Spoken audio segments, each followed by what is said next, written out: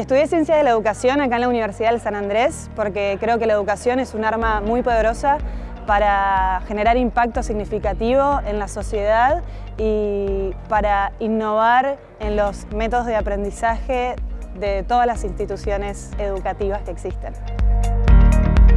El plan de estudios de la Universidad del San Andrés, como todas las carreras, tiene el ciclo de fundamentos, que está muy bueno, son materias en común, y después en el ciclo orientado de la licenciatura eh, te encontrás con disciplinas como Historia de la Educación, Psicología, Política Educativa. Los trayectos educativos en la licenciatura en educación son bastante personalizados, generalmente son cohortes de no tantos alumnos, entonces eso creo que lo individualiza y lo personaliza más y los docentes están 100% disponibles para los alumnos siempre.